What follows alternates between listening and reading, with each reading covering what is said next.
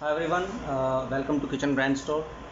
Ye, um, uh, we are just going to show you the uh, liquid sanitized dispenser uh, which is automatic, handless, touchless, you, know, you, do not need to touch it. So this is having a sensor, so when you take the, your hands just below this, you see.